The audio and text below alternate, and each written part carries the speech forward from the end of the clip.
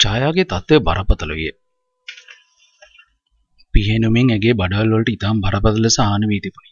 වෛද්‍යවරුන් කෙල්ලගේ ජීවිතය බේරා ගන්නට දැඩි සටනක නිරත විය. ඒත් ජීවිතය ගැන වැඩි බලාපොරොත්තුවක් තැබීම අපහසු විය. වෛද්‍යවරුන්ට තිබූ විශාලම බාධකය ඡායාගේ ශරීරයෙන් ගලා ගොස් තිබූ අසීමිත රුධිර ප්‍රමාණයයි. ඇයව රෝහලට ගෙනේද්දීත් ඇගේ ශරීරය ලේ පයින් 3-4කින් පමණ තෙත් වී තිබුණේ. මගේ ඇඟේ තියෙන ඔක්කොම ලේ අරන් හරි යාව බේරගන්න. අසංක ලේ දින්නට ඇඳේ දිගා වෙද්දී කිව්වේ ඔහොමයි. අසංකගේ ඡායාගෙන් මේ ගැළපීම් පුදුමාකාර ලෙස සිදු වූ දෙයක් විය. අසංකගෙන් ලේගෙන විනාඩි 10ක් යන්නටත් පෙර ඒ ලේ ඡායාගේ වතට දෙනු ලැබිනි. ඡායා මැරෙන්නේ නෑ අම්මේ. කෙල්ලට බෑ අපිව දාලා යන්න. අසංක රණතුංග මහත්මිය අසලම් බංකුවේ ඉඳගෙන කිව්වේ ඇඩුම්බර හඬිනි. රණතුංග මහත්මිය කොල්ලාගේ හිස අත ගෑවේ පුදුමාකාර වේදනාවකිනි. මේ දෙන්නගේ ජීවිතවල ලස්සනම දවස්සේ. අනීයේ හිටපු ලස්සන මතක් වෙනවා. උදේ මට කතා කළා මේ එන්න පරක්කු වෙච්ච පැයට මේ රණතුංග මහත්මිය මොහොතක් අසංග දෙසම බලා වුණාය. පුතා අම්මේ මොකද මේ උනේ පුතා සාප්පුවේ සේප් වලට අත තියලා නැහැ. කෙල්ල බැංකුවට දාන සල්ලි ගණන් කර කර ඉඳලා තියෙන්නේ. ඒ සල්ලි එහෙමම මේස උඩ. සල්ලි ගන්න සාප්පුවට ආව නෙමෙයි නම අම්මේ. එහෙනම් සල්ලි වලට කෙල්ලව මරන්න ආවා.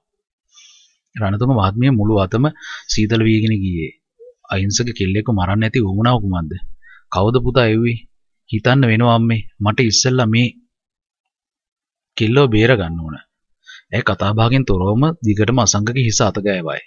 කෝ නිලංකා කෙල්ලට බාරයක් වෙන්න මයුරුපති කෝවිල්ට ගියා. දෙයියවත් හිටියේ නැද්ද මේ කෙල්ලව බේර ගන්න? කෙල්ලට මොනවත් වෙන්නේ නැහැ පුතා. ඒ මොහොතේ රණතුංග මහත්මයාගේ ජංගම දුර්ගදෙන ඇමතුමක් ආවේ. ඒ ආවේ කොල්ලොපිටිය පොලිසියනේ. මැඩම් මම ඉන්ස්පෙක්ටර් වීරවංශ. මම දැන් ඉන්නේ මැඩම්ගේ සාප්පුවේ. අඩියෙන් අඩිය චෙක් පොයින්ට්. ඒත් මැරව ඇවිත් මගේ කෙල්ලට පීයෙන් ඇල්ලලා පැනලත් ගිහින්. ඇයි කතා කළේ කේන්තිනේ. කලබල වෙන්න එපා මැඩම්. අපි පරීක්ෂණ කරගෙන යන්නේ. අපිට මුලවන්ද මැඩම් පොඩි උදව්වක් කරන්න. කියන්න. අද ෂොප් එක වහන්න. මේ පරීක්ෂණ වලට ඒක ලොකු උදව්වක්.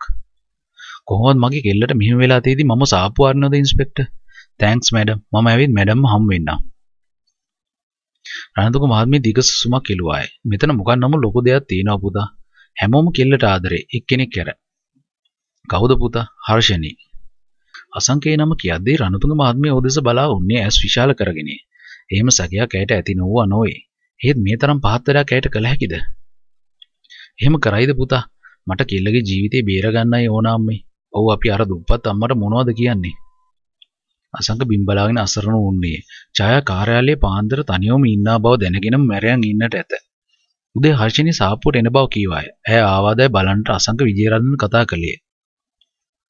නෑස හර්ෂිනී මිස් ආවේ නෑ. අසංක සෑහෙන්න සිතුවේ. උදේ එනවා කිව්ව හර්ෂිනී නාවේයයි. අසංක යලි සාප්පුවට ගත්තේ. ඊට දුරකථනය ගත්තේ පොලිස් පරිසක වීරවංශේ. මම අසංක රණතුංග. ඉන්ස්පෙක්ටර් කතා කරන්නේ. ඔව් මිස්ටර් අසංක අපි පරීක්ෂණ කරගෙන යන්නේ. අපිට පොඩි දෙයක් දැනගන්න ඕන. මොකද්ද ඉන්ස්පෙක්ටර්? මේ ඉන්සිඩන්ට් එක වෙලා තියෙන්නේ හරියට 7:45ට. ඔව් ඒක වෙන්න ටිකකට කලින් ඡායා මට කතා කළා. මං අහන්න හිටියේත් ඒකම තමයි. අපි ටෙලිකොම් එකකින් ගත්ත රිපෝට් එක. මිස්ටර් අසංකට මේ ළමයා මොනවද කිව්වේ? විශේෂ දෙයක් නෑ. මම මරි කරන්න ඉන්නේ ඡායාව. මේ පිහෙනුම් කපු ළමයා ඔව්. ඒක අපි දැනගෙන හිටියේ නෑ. මිස්ටර් අසංක කියපු එක ලොකු දෙයක්. එතකොට 8ට 5ක් තීදි කෝල් එකක් ඇවිත් තිනවා. මේ ඉන්සිඩන්ට් එක වෙන්න විනාඩි 8කට කලින්. මොකද්ද නම්බර් එක ඉන්ස්පෙක්ටර්? Note 77352 note. අසංකට පුදුම සිතුනේ. එය හර්ෂිනීගේ අංකය. ඕ අම්මා දැස බැලුවේ. මිස්ටර් අසංක ඒ නම්බර් එක දන්නවද? ඔව් ඔව් ඉන්ස්පෙක්ටර්. ඒ කාගේද? මගේ නෑනගේ මාමගේ දුවගේ. හරි මේ වගේ කාටවත් කියන්න එපා. අපි බලමු. අපිට මිස්ටර් අසංගෙනුත් කට උත්තරයක් ගන්න ඕන. එනි ටයිම් ඉන්ස්පෙක්ටර්. දුරකථනයේ තබා අසංග බැලුවේ අම්මා දෙසේ. ඇයි පුතා? ඡායාට පීයෙන් අන්න ටිකකට කලින් ඉතින් හර්ෂිනී සාප්පුවට කතා කළා. ඇයි ඒ පුතා? දන්නේ අම්මා මායි වරද කළේ. මට කෙල්ලව පරිස්සම් කරන්න තිබ්බා. අසංග දෑතම නල්ලතේ ගසා බිම්බලාගෙන කීවේ. හර්ෂින උන්නේ තරමක් තැතිගෙනේ. කොළඹ ෆැෂන් කම්ප්ලෙක්ස් සිදුව හැමදේම ඇය එහි සේවිකාවන්ගෙන් දැනගත්තාය. ඡායාව රෝල්ට ඇතුල් කළද ඇය මී යන බව ඇය දැන උන්නාය. මිස් වැඩේ ක්ලෝස්. චන්දන කතා කර පණිවිඩය කීවේ. හර්ෂිනීට කතා කරගන්නට පවා බැරි වී. ගෑණි මැරෙයිද චන්දන? මිස් කිව්වේ කරන්න දෙයක් කරන්න කියලානේ. මොනවා වුණත් කමක් නැහෙනේ. ඒත් මැරුණොත් බය වෙන්න එපා. මිස්සෝ ඕවලට ගෑවෙන්නේ නැහැ. ඇත්තටම එහෙම නොවෙති සිතා හර්ෂණී සිත සංසා ගත්තාය. එහෙත් ඇගේ සිත වෙවුලන්නට විය. එහෙම අපරාධයක් කරන්නට තමාට සිතුනියයි. අසංකෝ ලබා ගැනීම ඕනාවෙන්ද? ඒ ගැන මීට වඩා හිතන්නට තිබුණ අය හර්ෂණීට සිතුනි.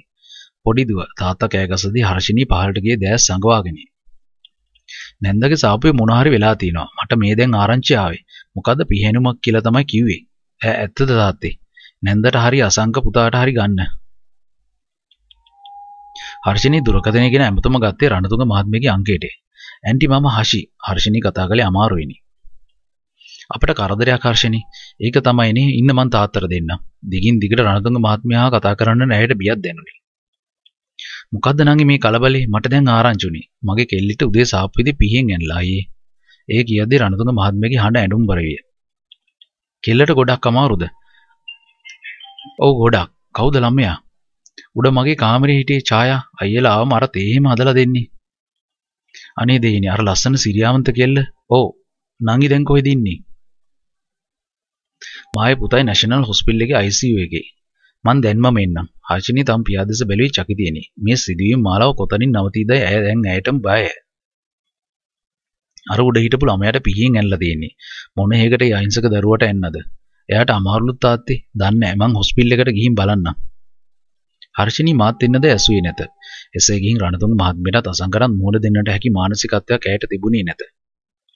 අම්මටයි පුතාටයි අද හරි දුක ඇති. ඊයේ ගිහින් තෑගි දීලා බල්ලාපු කෙල්ලනේ. හර්ෂිනී සිතුවේ ඇගේ හදවත් තුල නිදාවුන් සර්පය අවදි වෙද්දී. මොන වුණත් අසංක මගේ. ඉගෙන බැල්ලියට අසංකව අයිති වෙන්න මං ඉඩ තියන්නේ අද අවස්ථේදී කෑණිගේ ඡායාවක් නැති වෙයි. හර්ෂිනී සිතුවාය. ඒ ඡායාගේ ජීවිතය ගලවා ගන්නට කොළඹ ජාතික රෝහලේ ශෛලී වෛද්‍යවරු දැඩි සටනක් නිරත වූවා. ශෛලාගාරයේ කොනක ඇය පිහෙනුමට ලක් වෙද්දී ඇඳවුන් බටර් පාට සාරී විය. ඇගේ වතින් කොතරම් ලේ ප්‍රමාණයක් ගලා ගොස් ඇද්ද එය බලද්දී වටහා ගත හැකිය. පිහෙනුමෙන් ඇගේ කුඩා අන්ත්‍රයට බරපතල ලෙස හානි වී තිබුණි. පිය කෙල්ලගේ බඩේ තුන් කාලක් පමණ පලාගෙන ගොස් ඇත. පැය තුනකට අධිකව පැවති ශෛලිය කර්මයේ අවසානයේ රාත්‍රියේ තවත් විශේෂ ශෛලිය කර්මයක් කළ යුතුයයි ඔවුන් නිර්දේශ කරනු ලැබියේ. ඒ ඡායාව දැඩි සත්කාර ඒකගෙම විශේෂ උස්ම ගැනීම උපකරණ සමග තබනු ලැබියේ. ප්‍රධාන අවයව දෙක තුනකටම හානි වෙලා තියෙනවා. අපි උත්සාහ කරනවා සර්ජන්ලා ඩිසයිඩ් කරලා තියෙනවා තව ඔපරේෂන් එකක් කරන්න. හරි වචනයක් කියන්න පුළුවන් ඊට පස්සේ තමයි. ප්‍රධාන ශෛලීය වෛද්‍යවරයා අසංකර රණතුංග මහත්මියටත් කීවේ. අසංකර කතා කරගන්නටත් බැරි වේ. ජීවිතේ ප්‍රාණය තිබුණේ කෙල්ල ළඟේ. ඒ වතින් ප්‍රාණය ගන්නේ නම් ඒ ගන්නේ තමාගේ ජීවිතේ ප්‍රාණයද සමගයි. එයාට කරදරයක් වෙන එකක් නෑ නේද ડોක්ටර්? අපි උත්සාහ කරනවා. දැක්කනේ ගිහින් තිබ්බ ලේ ප්‍රමාණය. මං තව ලේ දෙන්නම් ડોක්ටර්. අපිට හවස ඕන වෙයි කොහොමත්. රණතුංග මහත්මිය අසංකව එක්කගෙන යලි කොරිඩෝරට ආවේ දැසින් කඳුළු වැටෙද්දී. අපි හවස් වෙනකල් බලමු පුතා. බලන්නවත් දෙන්නේ නෑනේ අම්මේ. ICU වලදී එහෙමයි පුතා. අර අහිංසක ගෑණිට දැන් ගිහින් මොනවා කියන්නද? අපි හවස් වෙනකන් ඉමු පුතා. ඡායාගේ දෙවන ශෛලකර්මයේ එදී තිබුණේ සවස 7ට. ඒ වනතුරු කොහොම ඉන්නද අසංකට තේරෙන්නේ නැත. ඡායා මී අතේ රණතුංග මහත්මියටද බියක් දැන්නේ. ඒ කොහොමද සිදුවිය නොහැකකි. ලස්සන්ට අහිංසකව ජීවිතේ පටන් ගන්නට උන් කෙල්ලට මෙහෙම දෙයක් කළේ කවුද? හර්ෂිනීගේ පියා රෝවල් කොරිඩෝ දිගේ ආවේ ඇය සිතද්දීයේ. රණතුංග මහත්මිය තම සොයුරව බින්දු මාත්‍රයක්වත් සැක කළේ නැත. ඔහු එසේ කරන අමානුෂික කෙනෙක් නොවන බව රණතුංග මහත්මිය දනි. ඇරත් වූ අසංකගේ ඡායාගේ සම්බන්ධය දැනුන්නේ නැත. කෙල්ලට කොහොමද නංගි? හර්ෂිනීගේ පියා ආවෙම එසේ අසාගෙන. කෙල්ලට අමාරුයි අයියේ. අහිංසක කෙල්ලගේ බඩටමයි ඇල්ලලා තියෙන්නේ. හර්ෂන්ගේ පියා බැලුවේ අසංග දෙසේ. මොකද්ද පුතා මේ වුනේ? අසංග කතා කළේ නැත. කතා කළොත් මියන්නේ ඇති දුප්පර බව ඔහු දැනගෙන ඉවයි අසංකට සිතුනි. කවුරු කොහොම කළා කියලාද හිතාගන්න බෑ අයියේ. සාපුවේ ප්‍රශ්නයකට එහෙම වුණාද නැත්නම් දුප්පත් අහිංසක කෙල්ලෙක්. ඒකෙදි මොන හතුරුද? හැමෝමත් එක්ක හොඳින් ඉන්නේ. රණතුංග මහත්මිය කිවි දුකෙනි. බලව මාත් පොලිසියට කතා කරන්න. අසංකව රණතුංග මහත්මිය කිසිවක් කිව්වේ නැත. මොනවද වෙන්න ඕන නංගි? කෙල්ලගේ ජීවිතේ තියෙන්නේ දෙයියන්ගේ අතේ අයියේ. මගේ වහලයට හිටපු කෙල්ල. මායි කෙල්ලගේ ජීවිතේට වග කියන්න ඕන. හර්ෂණගේ පියා ටික වෙලාවක් ඉඳ ගියේ. රණතුංග මහත්මිය බැලුවේ අසංක දෙසේ. මාමා මේ මොනවද දන්නේ නැහැ පුතා. ඔව් අම්මේ. ඒ තීයේ හවස අපි ඡායලාගේ ගෙදර යද්දි. ඉතින් හර්ෂිනී ආපු එක මට සැකයි. ඇයි පුතා? හර්ෂිනී අපි පිටිපස්සේ ආවත් දන්නේ නැහැ. එයා එහෙම ගෑණි. රණතුංග මහත්මියට හීල්ලිනි. අපි තවම මොනවද දන්නේ නැහැනේ පුතා. මට වැඩකුත් නෑ අම්මේ. මට මගේ කෙල්ලව බේරගන්න ඕන. අපි දෙයියෝ ගැන විශ්වාසය තියාගමු පුතා. දෙයයන්ට කොහොමදවත් කෙල්ලට අනතුරක් කළ නොහැක. ඇය තරම් භක්තියෙන් දෙවියන්ව ඇදහුව අය. සමහර විට අද සාප්පුවට එන්නට ඇති කෝවිල්ට ගොස්සේ. අසංක රෝහල් කොරිඩෝවේ ඉඳගෙන නාලකට ගත්තේ. නාලක මේ කිසිවක් දැනුන්නේ නැත. නාලක මචං මම අසංකගේ හඬේ වූ දුක්බර බව නාලකව පුදුම කළේ. උදේ කතා කරද්දී කොල්ලා කතා කළේ පුදුම සතුටකෙනි. අසංක ඇයි මචං? මචං ඡායා කියන්නට යන දේ පව අසංකට කියුනේ නැත. මේ හදවත් තමාට නොදෙනී කිල්ලට මොකතරම් ආදරය කරන්නට ඇද්ද? ඇයි මචං කිල්ලට මොකද මං උදේ ගොඩගම ගිහින් ආවේ. එයින් කිරිපතුත් කාලා ආවේ කෙල්ලත් එක්කම. අසංග මොහොතක් නිහඬ වුණේ. හිතා ගන්න බෑ මචං. කීවා මචං කෙල්ලට මොකද? කෙල්ලට උදේ සාප්පුවේදී පිහින් ඇනලා. පිහින් ඇනලා මේ අපේ කෙල්ලට නාල කැසුවේ පුදුමේනි. ඔව් මචං කෙල්ල දැන් ICU එකේ. මේ කෙල්ලට කොහොමද මචං? එහෙම කවුද ඇන්නේ කෙල්ලට අමාරුද? ඔව් ගොඩක්. මං දැම්මම එන්නම් මචං දැන්මම එන්න. ඉක්මනට වරෙන් නාලක මං හරි. ඔබ බය වෙන්න එපා කොල්ලෝ. කෙල්ලට මුකුත් වෙන්නේ නැහැ.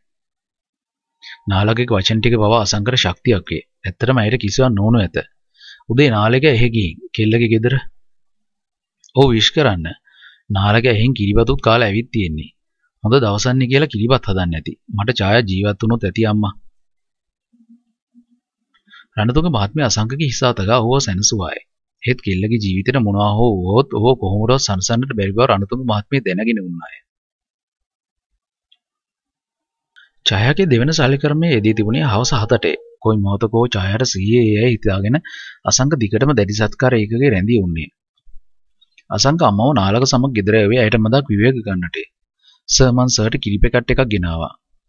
නිලංගා හයිලන්ඩ් කිරි පැකට් එකක් අසංකට රැගෙන ආවේ ඔහු මුළු දවසම කිසිවක් නොකෑ නිසායි. බොන්න සර් අපි රැයක්ම බලන් ඉන්න එපා සර්. නිලංකා යන්නේ නැහැ නේද? නිලංකාගේ පපු හැරීගෙන මෙන් ගියේ. ඔහු කොතරම් අහිංසක ආදරවන්තයෙක්ද? නෑ සර් ගෙදරට කතා කළා. කෙල්ලගේ ඇස් ඇරෙනකල් මං ඉන්නවා. එයාට හිටපු හොඳම යාළුවා ඔයා. නිලංකට හරි ආදරේ. අසංක කිව්වේ දුකිනි. මං දන්නවා සර් කිල්ල වගේ කෙනෙක් ආත්ම හතකට ලැබෙන්නේ නැහැ. නිලංකා සර් මොනවද හිතෙන්නේ? අසංක සන්නේ කුමක්ද නිලංකාට වැටේ. එකපාර කොහොම හිතන්නද සර්? මට හිතා ගන්න බෑ නිලංකා ඒත්. ඇයි සර්? හර්ෂණී සාප්පුවේ ළමෙක් එක්ක මං දන්නවා සර්. බලමු කොහොමද නීතිය නැතත් දෙයියෝ හරි මේ වලට පලිගන්නේ. හ්ම් නිලංක අසංග දෙසම් බලා වුණාය. ඔහු මේ තරම් දුකින් උන් දවසක් ගැන සිතා ගන්නටවත් නැහිට. ඕක බොන්නස ලේත් දුන්නනේ පඩගින්න ඉන්න හොඳ නෑ. අසංග කිරි පැකට් එක බී නිලංකා යලිත් කිව්ව පසුය. බලන් නිලංකා මගේ ලේ කෙල්ලගේ ලේ වලට ගැලපුණා. සංසාරේ පතාගෙන ආපු හින්දා නෙස නිලංකා කිව්වේ දෑස්ම තෙත්ව යද්දී. කෙල්ලට මොනවද හිතෙන්නේ නැද්ද නේද සර්? උදේ පාන්දර ඇවිත් තියෙන බුදු පහන පාමුල වැටලා හිටියේ. මං එද්දි විජේරත්න සාරි පොටෙන්ම බඩ බඳිනවා. නිලංගට අසංග දෙස බලා ඉන්නට බැරි තරම්ය. කෙල්ලට මෙහෙම දෙයක් වුයේ ඇගේ ජීවිතේ ලස්සනම දවස්වලේ. දැන් වෙලාව හවස 6ට ආසන්නේ. අද දවසටම හර්ෂිනී නිකන්වත් කතා කළේවත් නැත. අසංකර පුදුම ඒකේ. මේ තරම් කරදරයක් වී තිබීදීත් එහෙම කතා නොකරන එක පුදුමය. ඡායා අද රාත්‍රියේ හෝ හිට උදෑසන මිය යන බව හර්ෂිනිය දැනුණාය. කුමක් කළද ඇය වුන්නේ ඒ අපරාධය තමා අතින් කොහොම වුවාදයි සිතමිනි. මේ මිනිමැරුම සම්බන්ධයෙන් කිසි ලෙසකින්වත් තමා අසු නොවන බව හර්ෂණී සිතුවයි. චන්දනලාට මේවා සුළු වැඩේ. ඔවුන් ඡායට මැරෙන්නටම පීයෙන් යන ඇත්තේ ඔවුන්ට එවැනි මිනිමැරුම් සාමාන්‍ය දේවල් නිසායි. දැන් අසංකගේ මුහුණ ටිකක් බලාගන්න නැත්නම් යයි හර්ෂණීට සිතුනි. ඔහු ඡායට විශේෂත්වයක් දක්වන්නට ගත්තේ ඇය කොළඹ ෆැෂන් කම්ප්ලෙක්ස් එකට ආදා සිටේ. ඒට කුමක් හෝ රහසක් තිබ්බ බව හර්ෂණී දනී. මොනවා වුත් දැන් ඡායා අවසානයේ. දැන් ඇත්තේ සිදුවන දේ බලා ඉන්නටය.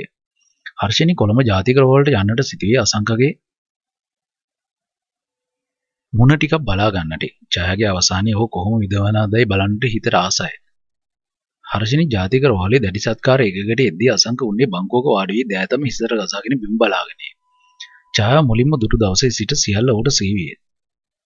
හර්ෂණිය මුලින්ම දැක්කේ නිලංකායි. හර්ෂණියව දකිද්දීම නිලංකාට මොනවදෝ දැනුනි. ඒ මහා පුදුමාකාර දෙයකි. නිලංකා කොරිඩෝර දිගේ එන හර්ෂණිය දෙස බලා උන්නේ හැඟීමෙන් පපුව ඉරිතලාගෙන මෙන්න එද්දීයේ. සර්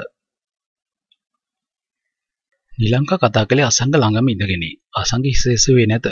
ඔහු දෑතම හිසේ ගසාගෙන ඉන්න අයරු හර්ෂණිය ඈත සිට බලාගෙන. එහෙනම් ඔබ මේ හිඟන බැල්ලිගෙන මෙච්චරටම තැවෙනවා. හර්ෂණිය සිතුවාය. සර් හර්ෂණී ලං වෙද්දී නිලංකා යලිත් කතා කළයි. අසංග හිස එසුවේ එවිටේ. ඇයි Nilanka? Sir Harshani miss. Asanga වේගෙන් දැස් සරවා ළඟ ළඟම එන හර්ෂණී දෙසම බලා උන්නේ. අසංගගේ බැල්ම හර්ෂණී මොහොතකට අවුලුවා දැම්මේ. මිනිමරෝ දිහා බලනවා වගේ මන් දිහා බලන්නේ. හර්ෂිනී සිටුවේ තරම චකිතේනි. අසංග හර්ෂිනීගෙන් දිනෙත් ගත්තේම නැත. ඕගෙන් දිනෙත් වල වූ රසණය හර්ෂිනීගෙන් දිනෙත් වල ගිනියම්ම දැනෙන්නට ගියේ. හර්ෂිනී පුදුමාර තැතිගැන්මට ලක් වූවායි. අසංග මෙහෙම බලන්නේයි. ඡායාට කොහොමද? ඇයට නොදැනුවත්වම ගොත ගැස්සෙනි. අපරාධයක් කළ කෙනෙකුගේ හදවත පුදුමාකාර ලෙස ගැහේ. ඒ කම්පනයේ තැතිගැන්ම හර්ෂණීගේ වදන්වල තිබුණේ. කෙල්ල ජීවත් වෙනවා. අසංග කිව්වේ බිම් බලාගෙන. ඒ වචන හරියට තමාට දමා ගැසූ වචන වැනි. රෝල්ට ආයක අපරාධයයි ඇයට සිතුනි. තාත්තා කිව්වා අමාරුයි කියලා ඡායාට. හර්ෂණී කීවාය. නිලංකා දෑත් බැඳගෙනම් බිම් බලා ගත්තාය. ඇයට හර්ෂණයේදී සිතුණු දේ දිගටම සිතෙන්නට විය. ඔව් ඡායාට අමාරුයි. ඒත් මරපු එක හිතපු විදිහට කෙල්ල මැරෙන්නේ නැහැ. මැරෙන්න දෙන්නෙත් නැහැ. අසංගගේ හඬ තුල මොකද්දෝ කේන්තියක් කෝපයක් විය. හර්ෂිනව බීපත් කළේද මේ වෛරයයි. අසංකය මෙතන හිටියා කියලා දැන් හර්ෂිනී යමක් කියන්නට ගියාය. ඇයි ඡායට සනීප වෙනකල් මං හොස්පිටල් එකේ ඉන්නවා. නිලංකාට පුදුම සිතුනි. ඔහු මේ කියන ඒවා වැඩිදයි ඇය සිතුවාය. ඒත් පපුව ගහ කියන්නේ ඔහුගේ නොවේද? හෂියද මට කතා කළේවත් නැහැ. සාබුවට එනවා කිව්වා නේද? අසංක ඇසුවේ ඇගේ දිනෙත් දෙසම බලාය. හර්ෂිනේ දිනෙත් එහෙට මෙහෙට කළාය. ආවෝ මේ එන්න හිටියේ. මට උදේ වෙන වැඩක් වැටුණා. ඇත්තද? මිනිහාගේ කතාව මට එච්චර අල්ලන්නේ නැහැ. මොකද මෙහෙම කතා කරන්නේ හර්ෂිනී සිතුවාය. හෂි මට උදේ සාප්පුවට කතා කළාද? අසංගගේ ප්‍රශ්නෙන් හර්ෂිනී අන්දමන්ද වූවාය. මෙසේ අසන්නේ ඇයිදයි ඇය සිතුවාය. එසේ අසන්නට හේතුවක් ඇත්තරම නැත.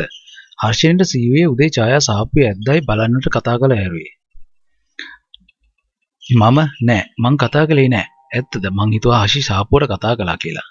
මම මං ගත්තොත් ගන්නේ අයියාගේ මොබයිල් එකටනේ.